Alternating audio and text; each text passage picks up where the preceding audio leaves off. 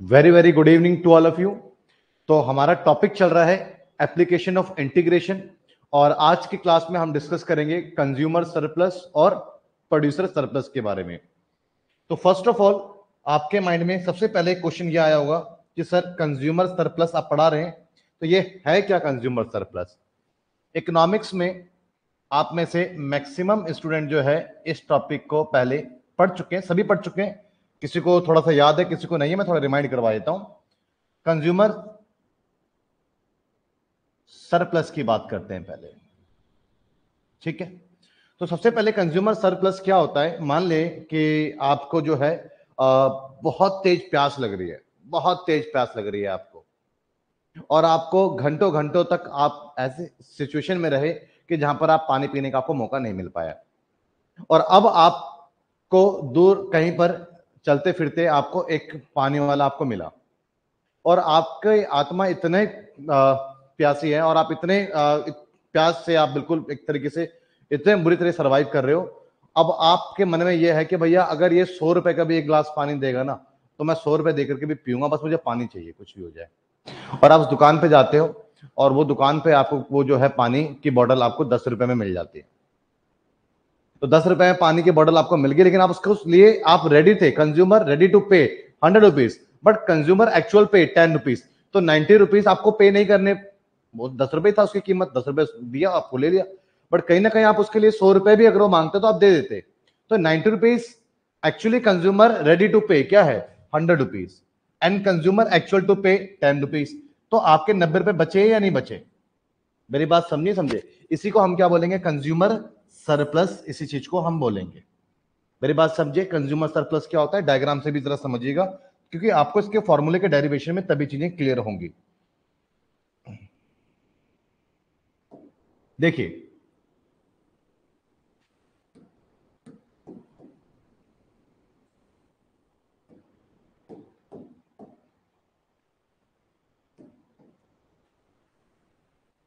Consumer surplus के लिए एक डिमांड कर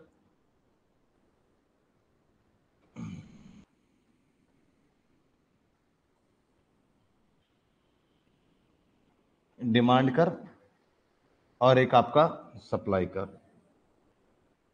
ये। और आपको पता है कि जहाँ पर डिमांड और सप्लाई इंटरसेक्ट होते हैं, वहाँ पर प्राइस सेट हो जाता है, मार्केट उस प्राइस को ही चार्ज करता है। तो क्वांटिटी ये आपके पास में ये ज़ीरो है। ये ज़ीरो है, ये आपका अपना एक्स एक्सिस है, ये आपका वाई एक्सिस है। और यहाँ पर आप देखें आपको मैं थोड़ा रिमाइंड करवा रहा हूँ, मैं इकोनॉमिक्स नहीं पढ़ा रहा हूँ, क्योंकि इकोनॉमिक्स टॉपिक नहीं है। टॉपिक है बिज़नेस मैथ्स लेकिन बिज़नेस मैथ्स में भैया इकोनॉमिक्स का पूरी तरीके से यूज़ हुआ है। तो थोड़ा सा हल्का सा आपको सेटिस्फेक्शन मिले कि हाँ टॉपिक रिवाइज हो जाए तो आगे करने में आपको थोड़ा सा मज़ा मिले, नहीं तो बिल्कुल ऐसा रट्टा जैसा हो जाएगा तो फिर आपका मन नहीं करेगा पढ़ने का। तो उस पर्पज से बता देता हूँ मैं आपको। ये आपका इक्विलिब्रियम क्वांटिटी हो गई एक्स और ये आपका इक्विलिब्रियम प्राइस हो गया पी आपको पता है कि मार्केट में मार्केट में किसी कमोडिटी का जो प्राइस सेट होता है, वो कोई इंडिविजुअल फर्म डिसाइड नहीं करती है, वो मार्केट की डिमांड एंड सप्लाई फोर्स से डिसाइड होता है। और जहाँ पे डिमांड सप्लाई इक्वल होता है, वो इक्लियरम क्वांटिटी होती है, वो इक्लियरम प्राइस हो जाता है। ये चीज़ तो आपको क्लियर है। अब आप एक चीज़ को, एक चीज़, एक बात को समझें आप, और समझने की कोशिश भी करेंगे आप इस चीज़ को। क्या? कि कंज्यूमर का आपका ज़ीरो से लेके ओ एक्स तक। अगर मैं बोलूँ ज़ीरो क्वांटिटी के लिए डिमांड से पता लगता है basically price curve and demand curve एक ही होता है, बात समझिएगा। तो कंज्यूमर ज़ीरो क्वांटिटी के लिए ये पे करने के लिए रेडी है। अगर थोड़ी क्वांटिटी और बढ़ाओ तो कंज्यूमर ये पे करने के लिए रेडी है। और बढ़ाओ तो कंज्यूमर ये पे करने के लिए रेडी है। कंज्यूमर ये पे करने के लिए रेडी है। ये मतलब ये सारे प्राइस पे करने रेडी है। बट मार्केट ने प्राइस का डिसाइड करा ओपी तो उसको देने तो इतने ही पड़ रहे हैं बट रेडी वो ये है। तो ये सारा का सारा जो ऊपर वाला जो सेगमेंट है ना, ये सारा का सारा ये हिस्सा, ये ये जो हिस्सा है, ये सारा। समझ रहे हैं इस हिस्से को? थोड़ा सा मैं समझाने के लिए ये कर देता हूँ। हाँ। ये जो हिस्सा, ऊपर वाला, क्योंकि पे उसको ये करना पड़ रहा है बट इससे पहले वाली क्वांटिटी के लिए वो ज़्यादा कीमत भी देने के लिए तैयार है। तो ये सारा का सारा जो है पिंक लाइन से ऊपर है। ये किस सेक्शन में आ जाता है? ये कंज्यूमर सरप्लस में आ जाता है। किसमें आ जाता है बच्चे ये? ये कंज्यूमर सरप्लस में चीज़ें ये आ जाती है, ये जो आपको मैंने शेडेड एरिया करा है ऑरेंज कलर में, ये सारा का सारा किसमें आता है? कंज्यूमर सरप्लस में आता है। ये बात समझ गए? इसी को हम क्या बोलते हैं? कंज्यूमर सरप्लस क्या कहेंगे इसको? कंज्यूमर सरप्लस तो ये मेरा जो है कंज्यूमर सरप्लस है। बात समझे? अब आपको ये चीज़ें क्लियर हुई कि कंज्यूमर सरप्लस क्यों है?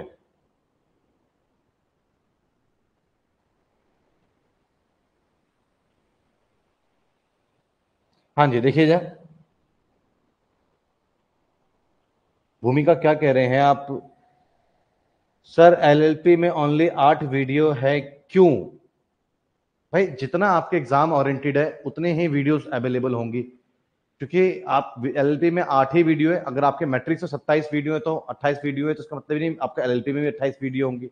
ये किसने कह दिया? मतलब कि क्या सोच करके आप ऐसे सवाल करते हो कि इसमें इतने वीडियो क्यों है? हाँ क्या टॉपिक अगर आपका कोई रह गया तो टॉपिक बोलेगा ना, सर, ये टॉपिक रह गया मेरा। वो टॉपिक बात करेंगे। इसमें आठ वीडियो क्यों है? अब समझ में नहीं आ रहा है कि मैं वीडियो के जवाब देने के लिए कोर्सेज आपको पढ़ा रहा हूँ, या फिर मैं आपका टॉपिक कवर करने के लिए पढ़ा रहा हूँ। तो बेटा, आपके जो कुछ एक दो क्वेश्चंस अगर आपको ऊपर नीचे लग रहे हैं कि आपको उसके आंसर नहीं आ रहे तो मैं, मैंने कहा है आपको, कल भी मैंने ये बात कहा है कि आपका मैं लीनियर प्रोग्रामिंग रिविजन में लूँगा। मेरे पास में कल कोर्स खत्म करूँगा और मेरे पास में इसके बाद दस दिन है रिविजन के लिए। और रिविजन में मुझे लीनियर प्रोग्रामिंग पे फोकस करना है और डिफ्रेंशिएशन और इंटीग्रेशन जो कि अच्छे से करवाया है, उसके बाद ही मैं इस पे फोकस करूँगा। मैं आपका मैथमेटिक्स और फाइनेंस पे क्यों फोकस नहीं करूँगा? ऑलरेडी मैंने बहुत ज़्यादा उसके क्वेश्चंस बाद में प्रीवियस करवा भी दिया था और उसमें इतना कॉम्प्लिकेशन नहीं है। और मैट्रिक्स एंड डिटर्मिनेंट्स में भी इतने कॉम्प्लिकेशन नहीं है। तो वो बिल्कुल स्ट्रेट चले जाते हैं, बस आपको कुछ मेथड्स देखने पड़ेंगे। और वैसे भी उसमें सफिशियंट क्लासेस आपकी हुई भी है। तो दो चैप्टर को छोड़ करके बाकी बेसिक कैलकुलस और एडवांस कैलकुलस और बात करते हैं हम लीनियर प्रोग्रामिंग इसके रिविजन की दस दिन करेंगे, दो तीन दिन दो से तीन दिन अगर लीनियर प्रोग्रामिंग दो दिन में और दे भी दूँगा तो एक दो क्वेश्चन अगर आपको जो डाउट है वो क्लियर हो जाएगा।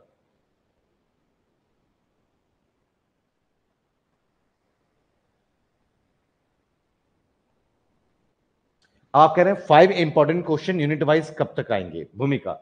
इसका भी आंसर मैंने पहले किया हुआ है कि आपके टेन ईयर में आप 2022 से उठा लीजिए और पिछले पाँच साल चले जाइए किसी चैप्टर मैट्रिक्स डिटर्मिनेंट्स के तो वो पाँच इंपॉर्टेंट क्वेश्चन है। और अगर आप मैथमेटिक्स ऑफ़ फाइनेंस को उठा लेंगे पिछले पाँच साल के क्वेश्चन तो वो वो मोस्ट फाइव इंपॉर्टेंट क्वेश्चन है। बात समझे? सिंप्लेक्स मेथड हो चुका है डियर सिंप्लेक्स मेथड हो चुका है, पूरी अच्छी तरीके से हुआ है। चलिए। हाँ जी। कंज्यूमर सरप्लस समझ में आपको आया? क्या है? तो ये सारा का सारा कंज्यूमर सरप्लस और कंज्यूमर सरप्लस के लिए बेसिकली अगर मैं ये एरिया निकालने की कोशिश करता हूँ कि ये एरिया क्या है तो आप इस बात को समझेंगे कि मेरे पास में यहाँ पर सबसे पहले एक डिमांड फ़ंक्शन है। क्या है? इस डिमांड कर से नीचे नीचे का एरिया के लिए मैं क्या करूँगा? डिमांड फ़ंक्शन तो डिमांड फ़ंक्शन मेरे पास में मैं लिख सकता हूँ कि बेसिकली मेरे पास में डिमांड फ़ंक्शन हो गया। ना, इसको ऐसे लिखूँगा।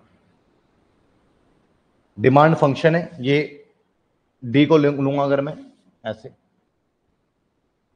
ये मेरा डिमांड फ़ंक्शन हो गया, सारा का सारा यहाँ पर क्या होगा, आपके पास में, ये आपके पास में डिमांड फ़ंक्शन रहेगा। क्लियर है जी? ये सारा एरिया आ जाएगा इसके नीचे का, सारा एरिया।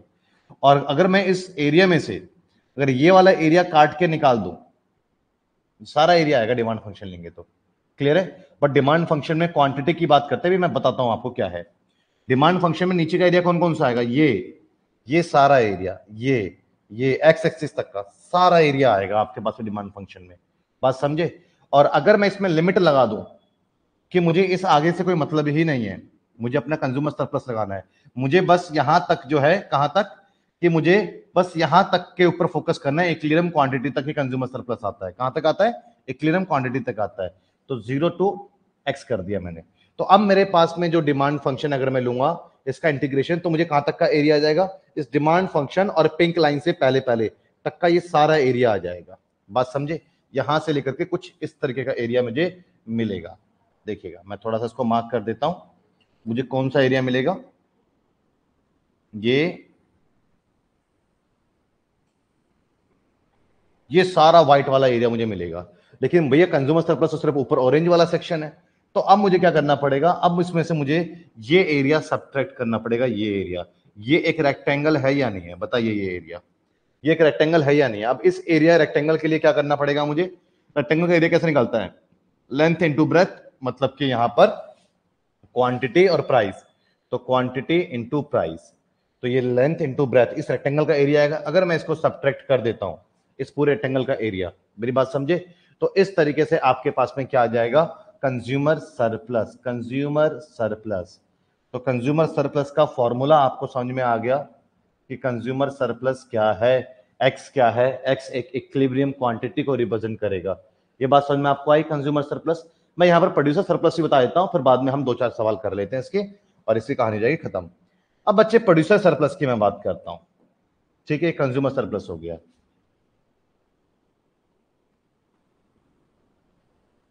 प्रोड्यूसर सरप्लस क्या होता है? अब एक फर्म है, अब फॉर एग्जांपल मान लो कि मैं अपने कोर्स को थाउज़ेंड रुपीज़ में बेचने के लिए रेडी हूँ एज अ प्रोड्यूसर लेकिन किसी बच्चे ने जो है पाँच हज़ार रुपए का कोर्स मतलब पाँच हज़ार रुपए का कोर्स उसने जो है बाय कर लिया फाइव थाउज़ेंड रुपीज़ का। तो ये जो चार हज़ार रुपए है, ये क्या हो गया? ये प्रोड्यूसर एक्लिब्रियम हो गया। मतलब सॉरी प्रोड्यूसर सरप्लस हो गया ये। बात समझे? तो ये क्या हो गया? ये आपका प्रोड्यूसर सरप्लस हो गया, इसको हम पी एस से रिप्रेजेंट करेंगे। अब प्रोड्यूसर सरप्लस का मतलब क्या हुआ कि ये इक्लियरम प्राइस पर जो है प्रोड्यूसर को मार्केट से क्या प्राइस मिल रहा है? भैया मार्केट सेट है मार्केट में तो कम्युनिटी का प्राइस यही रहने वाला है, यही पैसा मिलेगा। लेकिन एक्स क्वांटिटी से पहले पहले ये सप्लाई कर बताता है कि प्रोड्यूसर क्या प्राइस चार्ज करेगा। एक्स से पहले पहले अगर उसको इतनी प्राइस भी मिल जाए, इस क्वांटिटी के लिए इतनी भी प्राइस मिल जाए इतनी तो वो रेडी है बेचने के लिए रेडी है बेचने के लिए। लेकिन एक्चुअली उसको मिल इतना आ रहा है। तो ये जो सारा का सारा जो सेगमेंट है ना, ये वाला सेगमेंट ये, उसको ये प्राइस तो मिल ही रहा है बट प्रोड्यूसर इससे कम क्वांटिटी के लिए ये ये प्राइस पे भी रेडी है। इस इस प्राइस पे ही रेडी है। तो इस सारा का सारा सेगमेंट किस पर आ जाएगा? ये सारा सेगमेंट आपका दिस वन ये जो ग्रीन वाला देख रहे हो, ये producer equilibrium sorry producer surplus वाला सेगमेंट है ये। ये सेगमेंट ये। सर, बात समझ में आई आपको? क्लियर है?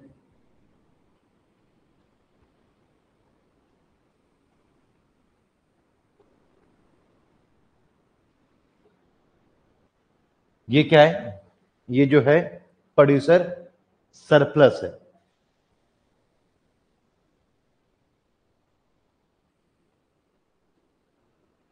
हाँ जी, देखिए। प्रोड्यूसर सरप्लस अब मुझे ये वाला सेगमेंट अगर मुझे निकालना है, मेरे बात समझिएगा तो सबसे पहले आपके पास में क्या होने वाला है कि आप जो है हाँ जी प्रोड्यूसर सरप्लस की मैं बात करता हूँ। तो सबसे पहले आप ना इस रेक्टेंगल को ले लीजिए, इस रेक्टेंगल का एरिया ले लीजिए रेक्टेंगल का। मतलब कि एक्स इंटू पी इस रेक्टेंगल का एरिया ले लिया। बट आपको पूरा रेक्टेंगल का एरिया आ गया ये तो। और लेकिन आपको एरिया कौन सा चाहिए? सिर्फ़ एक ग्रीन वाला। तो मतलब कि जो सप्लाई से नीचे वाला एरिया है ना सप्लाई से नीचे वाला एरिया उसको माइनस करना पड़ेगा। तो सप्लाई से नीचे वाला एरिया कैसे होगा? इंटीग्रेशन वो किसका? सप्लाई फ़ंक्शन का। किस फ़ंक्शन का? सप्लाई फ़ंक्शन का इंटीग्रेशन मेरी बात समझे? क्लियर है? लेकिन सप्लाई से नीचे तो सारा आ जाएगा? मुझे सारा नीचे मुझे बस इसके अंदर अंदर की बात करनी है। तो मुझे एक लिमिट लगा लेता हूँ ज़ीरो से एक्स तक की बात करनी है। ज़ीरो से लेके एक्स तक की बात करनी है। दिस वन इस रेक्टेंगल में से अगर मैं सिर्फ़ ये वाला एरिया का सब्ट्रैक्ट कर दूँगा तो मेरे पास में ग्रीन एरिया बचेगा। तो ये क्या हो गया? ये प्रोड्यूसर सरप्लस हो गया। बात समझे? तो कंज्यूमर सरप्लस डिमांड फ़ंक्शन से आता है और प्रोड्यूसर सरप्लस सप्लाई फ़ंक्शन से आता है। कंज्यूमर सरप्लस में इंटीग्रेशन करते हैं डिमांड फ़ंक्शन का, उसमें से हम एक्स इंटू पी एक्स मतलब इक्लेरियम क्वांटिटी एंड पी मतलब इक्लेरियम प्राइस का मल्टीपल माइनस कर देते हैं। Limit zero to x q put कर रहे हैं, वो भी आपको समझ में आ गया होगा। और यहाँ प्रोड्यूसर सरप्लस में भी ये बात मैंने आपको कह दी। उम्मीद है कि आपको चीज़ें अच्छे समझ में आई होंगी।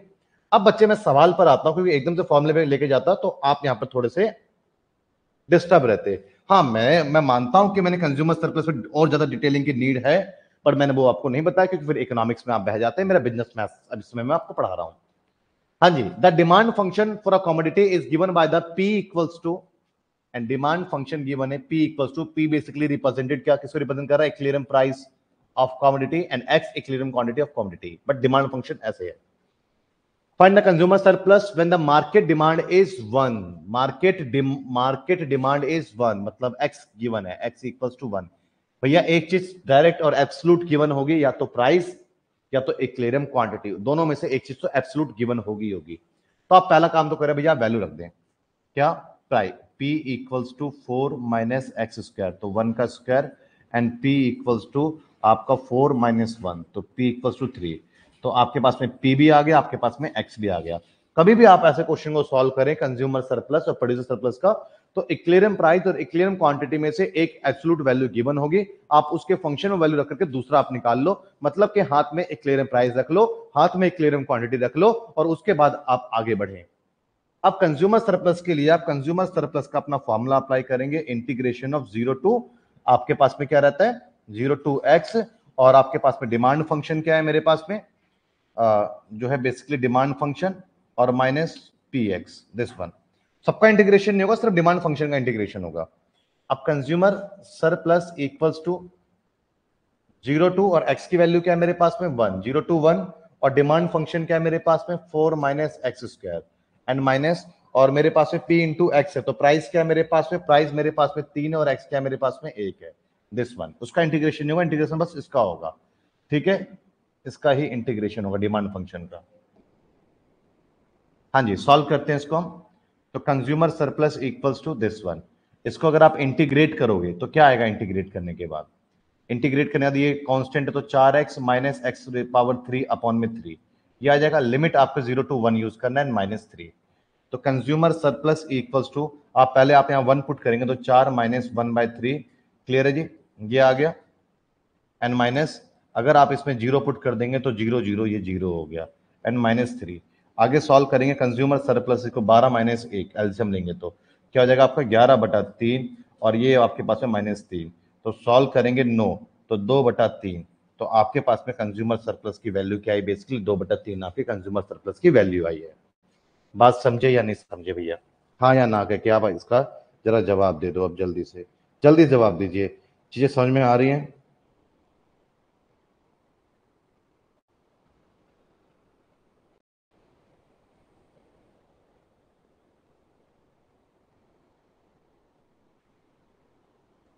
चलिए नेक्स्ट क्वेश्चन की तरफ़ आगे बढ़ते हैं।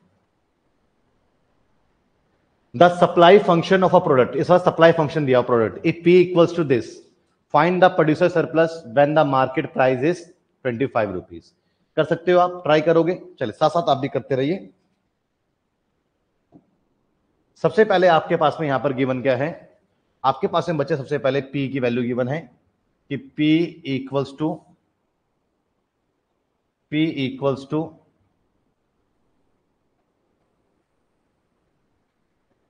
x plus twenty का स्क्वायर अपॉन हंड्रेड बात समझे? Find the producer surplus when the market price is twenty five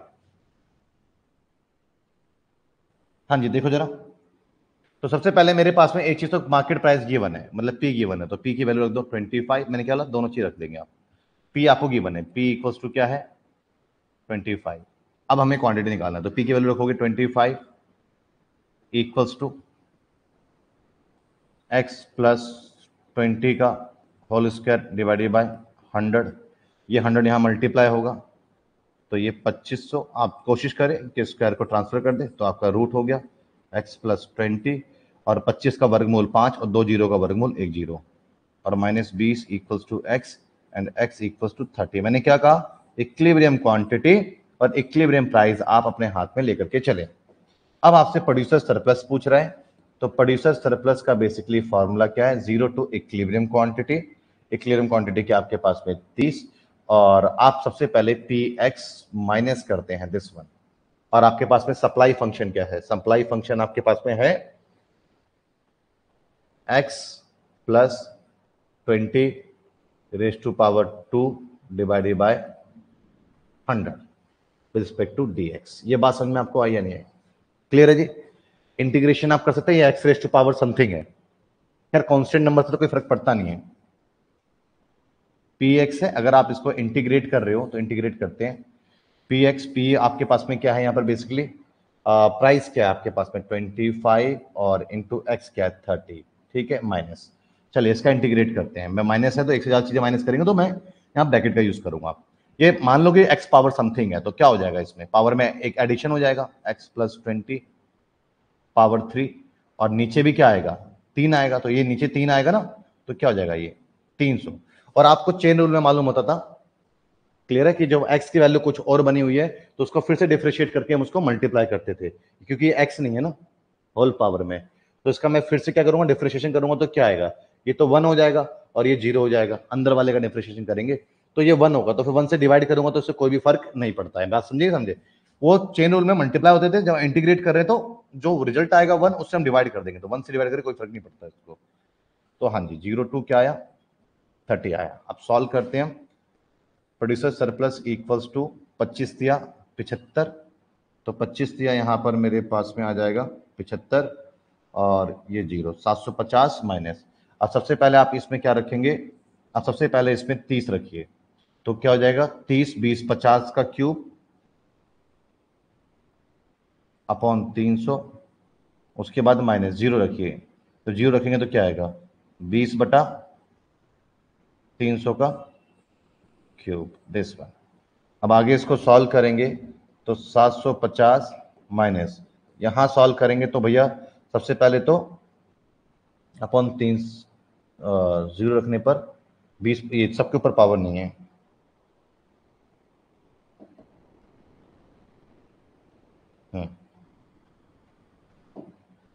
देखिए, इसके ऊपर पावर तीन है, ठीक है? क्लियर है जी? बात समझे? अब सॉल्व करेंगे यहाँ पर आप तो पी एस इक्वल्स टू सात सौ पचास माइनस पाँच का क्यूब एक सौ पच्चीस ट्रिपल ज़ीरो और एलसीएम तो तीन सौ ही आना है। दो का क्यूब आठ ट्रिपल ज़ीरो ठीक है जी? सॉल्व करते हैं आगे। तो सात सौ पचास माइनस। तो आपका पास में एक लाख पच्चीस हज़ार में से आपका आठ हज़ार गया। तो पाँच हज़ार गया, फिर उसके बाद तीन हज़ार गया। एक लाख सत्रह हज़ार, एक लाख सत्रह हज़ार। और अपॉन में क्या आया आपका? तीन सौ। तो आपका दो ज़ीरो तो ये वैसे कट गया। और आपका तीन तिया नौ और दो, तीन, नीम, सत्ताईस। तो तीन सौ नब्बे। तो सात सौ पचास माइनस तीन सौ नब्बे। अरे चार सौ ही घटा लो, बाद में दस दे देंगे। तो कितना बचेगा? तीन सौ पचास, तीन सौ साठ। तो तीन सौ साठ क्या आया? प्रोड्यूसर सरप्लस आया। बात समझे? क्लियर है जी? कोई डाउट तो अब आपको आसानी से आ गया है प्रोड्यूसर सरप्लस निकालना कंज्यूमर सरप्लस निकालना।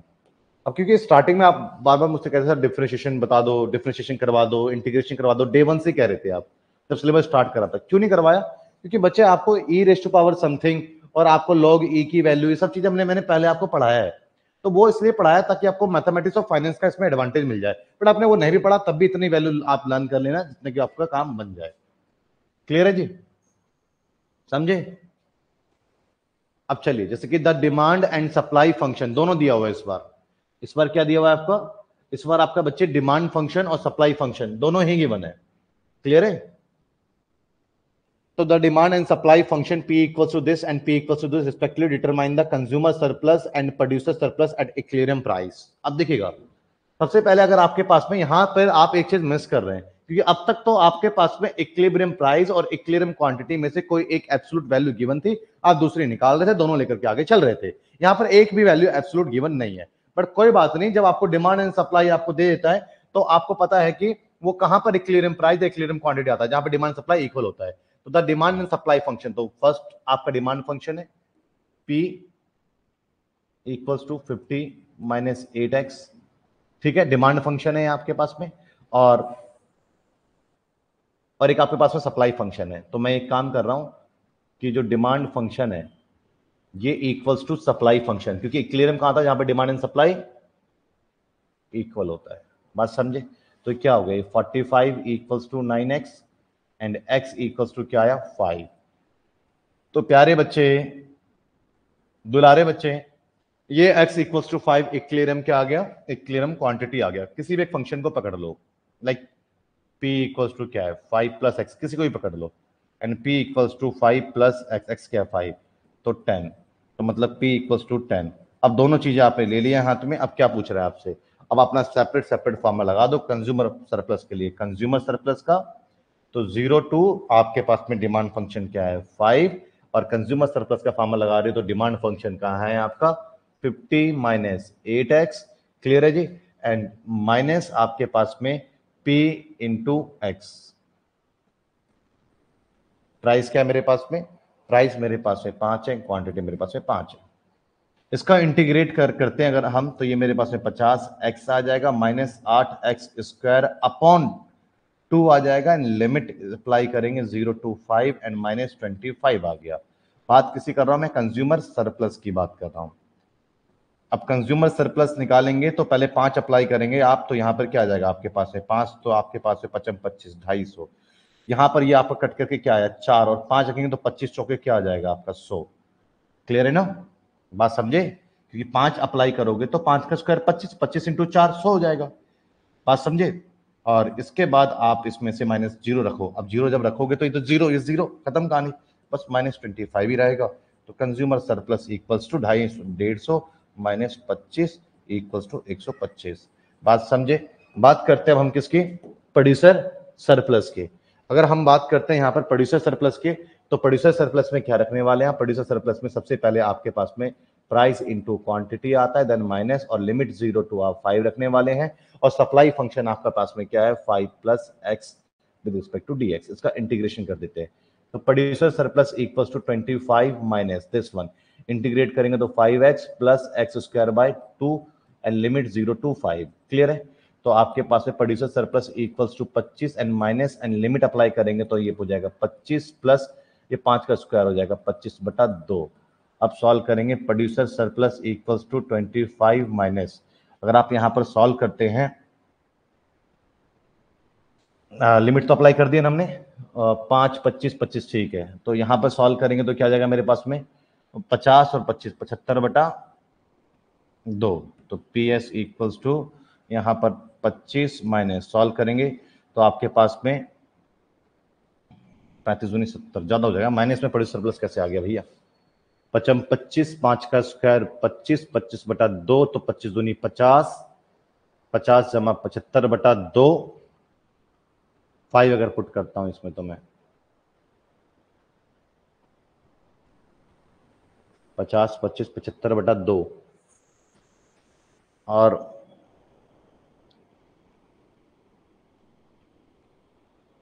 माइनस पच्चीस बटा दो आ रहा है, इसका आंसर तो भैया सॉल्व करने पर। पचम पच्चीस five x x square by two. Zero रख के तो फ़ायदा है नहीं। अब पाँच रख देंगे तो पच्चीस प्लस पच्चीस बटा दो। सॉल्व करेंगे, पचास प्लस पच्चीस, पचहत्तर बटा दो। माइनस करेंगे पचास माइनस, प्रोड्यूसर प्लस माइनस में आ रहा है यहाँ पे। सर पी एक्स फिफ्टी है। हाँ हाँ हाँ हाँ हाँ हाँ। अरे यार, ये तो गड़बड़ हो गई भैया। ये तो यहाँ भी मैंने क्या करा था? फिफ्टी पच्चीस यहाँ भी पच्चीस कर दिया था मैंने। भाई बाई मिस्टेक मेरे से गलती हुई है। फिफ्टी है।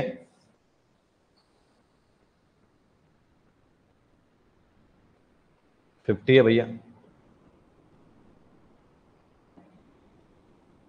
सो ठीक है। क्लियर है? तो यहाँ पर भी ये क्या होगा?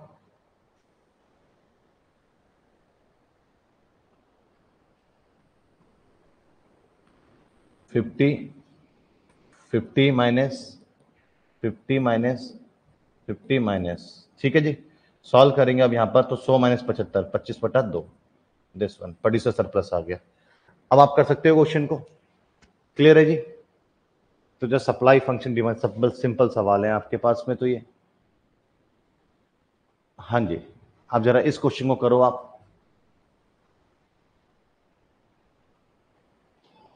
चलिए find the consumer surplus and producer surplus जरा करो इस क्वेश्चन को।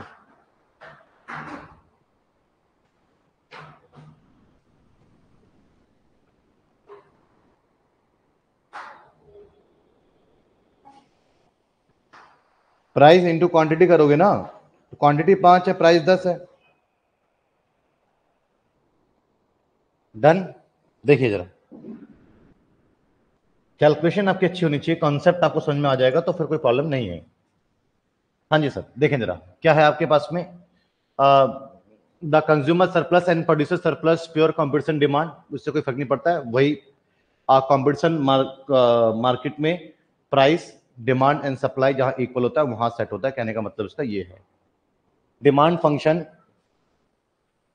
eight upon x plus one minus two and supply function one upon two x plus three पहले आप इसको सिंप्लीफाई करेंगे, कैसे करेंगे? क्रॉस मल्टीप्लाई होगा। यहाँ पर अगर आप देखें तो अभी आपका यहाँ पर एलसीएम होगा। X eight minus two x plus one upon x plus one equals to x plus three by two अब आप क्या कर सकते हैं? क्रॉस मल्टीप्लाई कर सकते हैं ना? तो क्रॉस मल्टीप्लाई करें। तो क्या होगा आपके पास में? सोलह माइनस चार x plus one equals to क्या हो जाएगा आपके पास में? X plus three into x plus one यही होगा। तो sixteen minus four x minus four equals to solve करेंगे। तो ये हो जाएगा एक्स स्क्वायर प्लस एक्स ये हो जाएगा plus three x plus three अब आपके पास में एक्स स्क्वायर है और ये आपके पास में चार एक्स हो गया। और यहाँ पे आपके पास है माइनस चार एक्स है। तो क्या हुआ? एक्स स्क्वायर यहाँ आकर के क्या बन जाएगा? प्लस आठ एक्स क्लियर है जी? यहाँ प्लस तीन है, ये सोलह क्या हो जाएगा? माइनस का तेरह। समझे?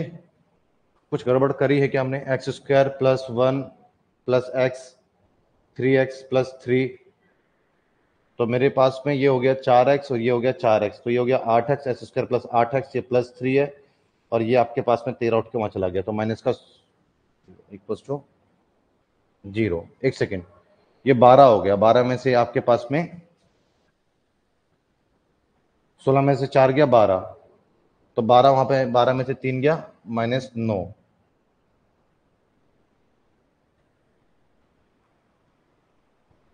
Equal to zero. तो अब होगा नौ कम नौ। ठीक है जी? तो क्या इसको स्प्लिट करेंगे क्वाड्रेटिक इक्वेशन में? X square plus eight x minus nine equal to zero तो x square plus nine x minus x minus nine equal to zero and x common ले लिया तो एक्स प्लस नाइन और यहाँ पर मैंने माइनस का वन कॉमन ले लिया तो x plus nine equal to zero और यहाँ पर आप देखते हैं तो एक्स प्लस नाइन मेरे पास में कॉमन आया. और x minus one equals to zero and x equals to minus nine और एक्स इक्वल्स टू वन कभी भी क्वांटिटी आपकी नेगेटिव नहीं होती है, इसको भूल जाइए। अब आपके पास में एक्स वन है तो प्राइस क्या होगा? आप किसी भी फ़ंक्शन में रख दीजिए, एक फ़ंक्शन पकड़िए कोई सा भी, जो आपको आसान सा लगता है P equals to one by two x plus three और यहाँ पर P equals to one by two and x क्या है? वन प्लस थ्री मतलब four by two equals to क्या आ जाएगा? टू तो वो दोनों चीज़ें आपको चाहिए होती हैं अपने क्वेश्चन की कहानी को आगे बढ़ाने के लिए। बात करते हैं कंज्यूमर सरप्लस की तो इंटीग्रेट करेंगे ज़ीरो टू क्वांटिटी क्वांटिटी क्या निकाल चुके हैं हम ऑलरेडी एक्स की वैल्यू क्या निकाल चुके हैं? वन और वो मेरे पास में डिमांड फ़ंक्शन क्या उसका इंटीग्रेट करेंगे। डिमांड फ़ंक्शन यहाँ पर मेरे पास में है। Eight upon x plus one and minus two clear है जी? And minus price into quantity तो प्राइस क्या है? टू और इंटू क्वांटिटी क्या है मेरे पास है वन ये आपको इसको सॉल्व करना है इंटीग्रेट करना है आपको। बात समझे? क्लियर है जी? कोई डाउट किसी बच्चे को?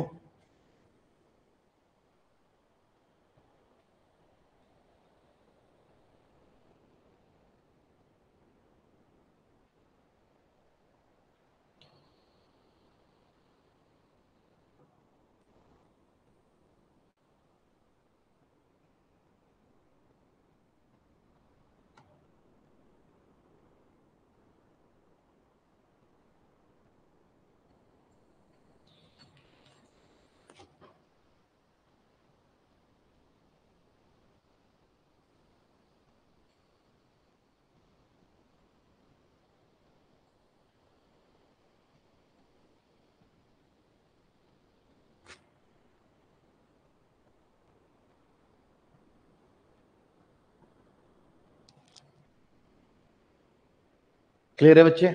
समझ गए? तो इसी तरीके से आपको यहाँ पे क्या करना पड़ेगा? इंटीग्रेट करेंगे आप इसको कंज्यूमर सरप्लस तो आपका वन अपॉन एक्स का आ, क्या होता है? तो एट तो कॉन्स्टेंट नंबर है। ये होता है log x log x plus one ये रहेगा आपके पास में वन अपॉन एक्स का।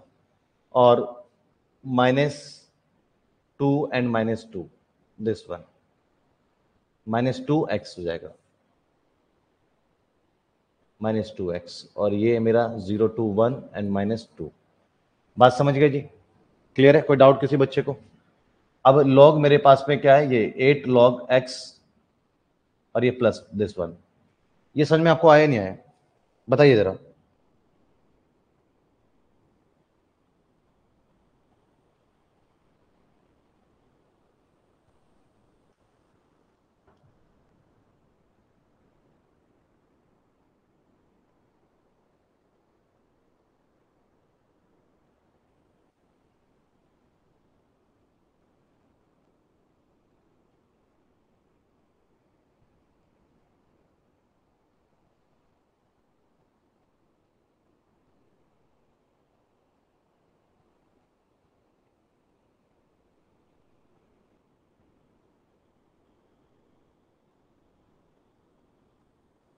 क्लियर है जी?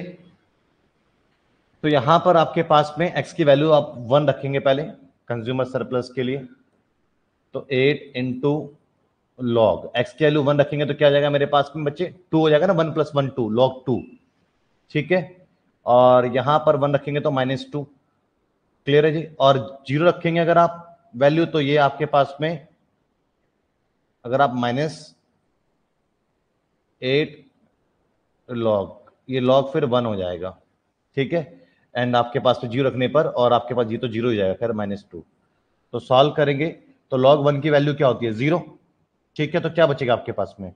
Consumer surplus equals to eight log two minus four this one आपका आंसर होगा। बस आपको इंटीग्रेशन करना आना चाहिए, जो कि हमने पहले ही सीख लिया है। तो ये मेरे कुछ क्वेश्चंस थे। Consumer surplus and producer surplus के ऊपर और सफिशिएंट क्वेश्चंस की प्रैक्टिस हमने की है। एक क्लास बाकी है कल आपके कोर्स का हो जाएगा एंड और परसों से हम रिविजन करेंगे। डिफ्रेंशिएशन से स्टार्ट करूँगा। कोशिश करूँगा तेईस तारीख तक चौबीस तारीख तक आ, मैं इंटीग्रेशन एंड डिफ्रेंशिएशन के ऊपर ही फोकस करूँ चौबीस तारीख तक। चौबीस के बाद मैं फिर अगले तीन दिन तक आपका मैं लीनियर प्रोग्रामिंग के ऊपर फोकस करूँ। तो ये दो चीज़ों पर फोकस करने के बाद बच्चे आपका फाइनली जो है आ, आपका अपने एग्ज़ाम से जब जाएँगे तो आप प्रैक्टिस कर सकते हैं। ठीक है?